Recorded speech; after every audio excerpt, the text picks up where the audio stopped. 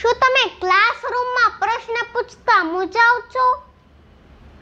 તો અત્યારે જ ડાઉનલોડ કરો યુથ એજ્યુકેશન. નમસ્કાર વિદ્યાર્થી મિત્રો. યુથ એજ્યુકેશન ચેનલમાં હું વિપુલ જાની આપ સ્વાગત કરું છું. આજે આપણે ધોરણ દસ, પાઠ નંબર છ કાષ્ઠખંડ કાષ્ટ એટલે લાકડું અને ખંડ એટલે ટુકડો. તો કે લાકડાનો ટુકડો. ચાલો, આ લાકડાનો ટુકડો છે, એ પાઠ છે, એ શું કહેવા માગે છે? અથવા તો પાઠ આ લાકડાના ટુકડા ઉપરથી આપણને શું ઉપદેશ આપવા માગે છે? તે જોઈએ, કોઈ પણ પાઠ શરૂ કરીએ, તે પહેલાં તેની પ્રસ્તાવના છે તે મહત્વની હોય છે. તો પ્રસ્તાવના જોઈએ. આપણી જે પ્રાચીન ભારતની શિક્ષણ પ્રણાલી છે, તેમાં ગુરુ અને શિષ્યનું સાનિધ્ય મહત્વનું હતું. એટલે કે ગુરુ અને શિષ્ય એ બંનેનું સાનિધ્ય છે, એ મહત્વનું હતું. ગુરુકુળમાં નિવાસ કરી અને વિદ્યાભ્યાસ કરવાની પરંપરાને કારણે એ બંને ગુરુ અને શિષ્ય એક સાથે રહેતા હતા. અને તેની સાથે દર ઘડીએ ગુરુ અને શિષ્ય સાથે રહે છે, એટલે ક્યારેક સાહજિક રીતે અને ક્યારેક આકસ્મિક રીતે શિષ્યને જ્ઞાન પ્રાપ્ત થતું હતું. આમ પ્રાચીન જમાનાની વાત કરીએ, તો ભગવાન રામ છે, અથવા તો ભગવાન કૃષ્ણ છે, એ પણ કોઈ ગુરુના આશ્રમમાં જઈ અને ત્યાં નિવાસ કર્યો હતો. એટલે કે આ પરંપરા છે એ આપણી વર્ષો જૂની છે. સાથે સાથે આની સાથે એક પાઠ્યક્રમ તો ચાલતો હોય, સાથે સાથે ક્યારેક સાહજિક રીતે અને ક્યારેક આકસ્મિક રીતે જ્ઞાન પણ મળતું હોય છે. અને આજે આવું જે અધ્યયન છે, ગુરુ શિષ્યનું સાનિધ્ય, એ અત્યારે વર્તમાન સમયમાં સંસ્કૃત પાઠશાળાઓ જે ચાલે છે, તેમાં જ ચાલી રહ્યું છે. આપણે સંસ્કૃત પાઠશાળાનું ઉદાહરણ જોઈએ તો શ્રી નારાયણ સંસ્કૃત મહાવિદ્યાલય પેટલાદ આણંદ જિલ્લામાં આવેલી છે. બીજી એક જોઈએ તો શ્રી વર્તનતો સંસ્કૃત મહાવિદ્યાલય જેને સોલા ભાગવતના નામે ઓળખાય જે અમદાવાદમાં આવેલી છે. આવી ગુજરાતની અંદર ઘણી બધી પાઠશાળાઓ આવેલી છે. તે પાઠશાળાઓમાં અત્યારે આ ગુરુ શિષ્ય સાનિધ્યનું અધ્યયન ચાલે છે. સાથે સાથે આ પાઠની વાત કરીએ તો આ પાઠની અંદર પણ ગુરુ અને શિષ્ય એક જગ્યાએ વિહરતા હોય છે. એ વિહરતા વિહરતા નદી કિનારે એમને કાષ્ટનો એટલે કે લાકડાનો ટુકડો દેખાય છે અને જ્ઞાની ગુરુ એ દ્રષ્ટિએ શિષ્યને જ્ઞાન આપવા માટે તૈયાર થઈ જાય છે. આગળ જઈએ તો આ કાષ્ટખંડ છે એ પોતાના જન્મથી જ પાણીમાં તરવાનો ગુણ ધરાવે છે. સદભાગ્યે એ કાષ્ટખંડ છે એ સમુદ્ર મનાતા એટલે કે રત્નાકાર મનાતા એવા ત્યાં સુધી પહોંચે છે. પણ તેના કારણે એ કાષ્ટખંડ છે, એ સમુદ્ર સુધી પહોંચી શકે છે. પરંતુ જો તેના જીવનમાં ચાર પ્રકારના વિઘ્ન ન આવે, તો જ એ પહોંચી શકે છે. એટલે કે આ કાષ્ટખંડને એક રૂપક બનાવી અને ગુરુએ માનવોને પણ બોધ આપ્યો છે કે જો તમે પણ તમારા જીવનમાં ચાર પ્રકારના વિઘ્ન ન આવે, એટલે કે મનુષ્યના જીવનમાં ચાર પ્રકારના વિઘ્નથી જો એ બચી જાય, તો એ પણ કાષ્ટખંડ રૂપી સમુદ્રને, એટલે કે આપણે સુખરૂપી સમુદ્રને પ્રાપ્ત કરી શકીએ છીએ. અહીંયા ગુરુએ છે એ મનુષ્યને કાષ્ટખંડ રૂપે કલ્પી અને સરસ એવું રૂપક ગોઠવી દીધું છે અને જેનો જ્ઞાન છે, જેનો બોધ છે, આપણને સહજ રીતે આપવામાં આવ્યો છે. તો ચાલો એ પાઠ તરફ જઈએ. તો શરૂ કરીએ. ગંગા તીરે એક ગુરુ શિષ્યેણ સહ વર્તમાન આસિત. ગંગા તીરે એટલે કે ગંગા નદીના કિનારે એક ગુરુ એટલે એક ગુરુ શિષ્યેણ સહ એટલે કે શિષ્યની સાથે વર્તમાન આસિત.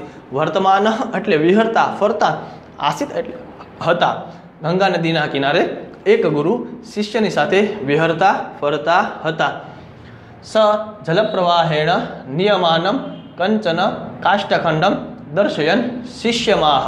સ એટલે તે જલપ્રવાહેણ જલના પ્રવાહથી નિયમાનમ એટલે કે લઈ જવામાં આવતા, કંચન એટલે કે કોઈ કાષ્ઠખંડમ એટલે કે કાષ્ઠના ખંડને એટલે કે ટુકડાને દર્શન એટલે કે દેખાડીને શિષ્યમાહ. શિષ્યમ આહા. શિષ્યમ એટલે શિષ્યને આહા એટલે કહ્યું. તે જલ પ્રવાહની સાથે લઈ જવામાં આવતા કોઈ કાષ્ઠખંડને દેખાડી અને શિષ્યને કહે છે. શું કહે છે?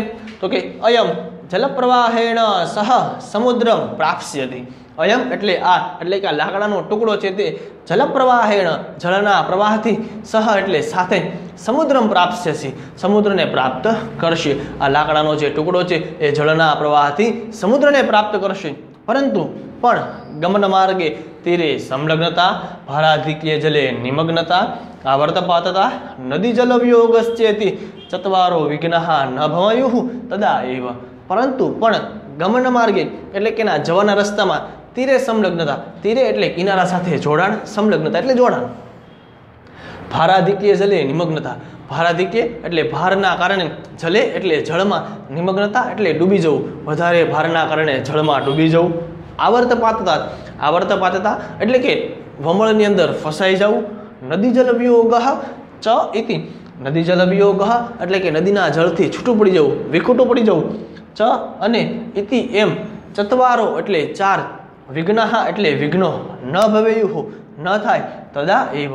આવા ચાર વિઘ્નો ન થાય, ત્યારે જ એ શું કરી શકે છે? સમુદ્ર સુધી પ્રાપ્ત કરી શકે છે. એટલે કે લાકડું છે તે સમુદ્રને પ્રાપ્ત કરી શકે છે. ચાલો, સંપૂર્ણ પેજ રિપીટ કરીએ પુનરાવર્તન. ગંગા નદીના કિનારે એક ગુરુ શિષ્યની સાથે વિહરતા હતા. તે જલપ્રવાહની સાથે લઈ જવામાં આવતા કોઈ લાકડાના ટુકડાને દેખાડી અને શિષ્યને કહે છે, આ જળપ્રવાહની સાથે સમુદ્રને પ્રાપ્ત કરશે. પણ જવાના રસ્તામાં કિનારા સાથે જોડાણ. વધારે ભારના કારણે ડૂબી જવું. ઉમળમાં ફસાઈ જવું અને નદીના જળથી છૂટા પડી જવું આવા ચાર વિઘ્નો જો ન આવે, તો જ એ સમુદ્ર સુધી પહોંચી શકશે. ચાલો, આગળ જઈએ. નેક્સ્ટ સાથે સાથે ગુરુ આગળ કહે છે, ગુરુ રગ્રે ઉપદિશતિ શિષ્યમ. ગુરુ અગ્રે. ગુરુ એટલે ગુરુ, અગ્રે એટલે આગળ. ઉપદિશતિ શિષ્યમ. ઉપદેશ આપે છે. શિષ્યમ એટલે શિષ્યને.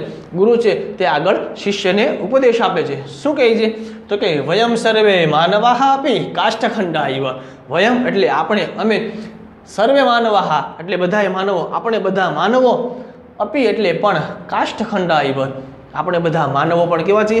કાષ્ઠખંડની જેવા. એટલે કે લાકડાના ટુકડા જેવા છીએ. તો ચાલો મિત્રો, હવે જે અહીંયા વાત કરવામાં આવે છે, તે મનુષ્ય અને કાષ્ઠખંડ બંનેની એક સાથે વાત કરવામાં આવે છે. જોઈએ, અસ્માકમ જીવનમેવ નદી. અસ્માકમ એટલે આપણું જીવનમ એટલે જીવન. એવ એટલે જ નદી એટલે નદી. આપણું જીવન શું છે? નદી છે. જેમ કાષ્ઠખંડ માટે એનું જીવન નદી છે, એમ આપણી માટે જીવન. તો કે આપણું જીવન નદી છે. પરિવાર પ્રવાહરૂપ. અને પરિવાર કેવો છે? પ્રવાહરૂપે છે. એમ આપણી માટે પરિવારની જરૂરત છે. એવી રીતે કાષ્ઠખંડ માટે પ્રવાહની જરૂર છે. તો પરિવાર પ્રવાહરૂપ. પરિવાર પ્રવાહરૂપી છે. તત્ર સ્નેહરૂપમ જલમ વહતી. તત્ર એટલે ત્યાં સ્નેહરૂપમ, એટલે પરિવારમાં શું વહે છે? સ્નેહ, પ્રેમ વહે, એટલે કે એકબીજાની સાથે પ્રેમથી વાર્તાલાપ કરીએ. સ્નેહ છે, એ વહેતો હોય છે. અને જ્યારે નદીમાં જલમ વહતી, પાણી વહેતું હોય છે. આ વાક્ય એવું થાય તો ત્યાં સ્નેહરૂપી જળ વહે છે. સ્વકીય પરિવારે જીવનમ જીવંત, કાષ્ટરૂપા વયમ સુખપૂર્ણમ સંસાર સમુદ્રમ અવશ્યમ પ્રાપ્તું શક્નુમઃ. યદિ ચત્વારો વિઘ્ના ન ભવંતી. સ્વકીય એટલે પોતાના પરિવારે એટલે પરિવારમાં જીવનમ જીવંત, જીવન જીવતા કાષ્ટરૂપા વયમ કાષ્ટખંડ રૂપી આપણે સુખપૂર્ણમ સુખથી પૂર્ણ સંસાર સમુદ્રમ, સંસાર સમુદ્રને અવશ્યમ પ્રાપ્તુમ શકનુમઃ. અવશ્ય, ચોક્કસ પ્રાપ્તુમ એટલે પ્રાપ્ત કરી શકીએ, શકનુમઃ એટલે છીએ. એટલે કે આપણે સંસાર રૂપી સમુદ્રને અવશ્ય પ્રાપ્ત કરી શકીએ છીએ. યદિ ચત્વારો વિઘ્ના ન ભવંતી. યદિ એટલે જો ચતવારો એટલે ચાર વિઘ્ન એટલે વિઘ્નો ન ભવંતી એટલે થાય. અને જો ચાર વિઘ્ન ન થાય, તો આપણે લોકો એ ક્યાં પહોંચી શકીએ છીએ? તો કે સંસાર રૂપી સમુદ્રને પ્રાપ્ત કરી શકીએ છીએ. ચાલો, વાક્ય જોઈએ આખું. પોતાના પરિવારમાં જીવન જીવતા કાષ્ટરૂપી આપણે સુખરૂપી સંસાર સમુદ્રને ચોક્કસ અવશ્ય પ્રાપ્ત કરી શકીએ છીએ. જો ચાર વિઘ્ન ન હોય તો અથવા તો ચાર વિઘ્ન ન આવે તો.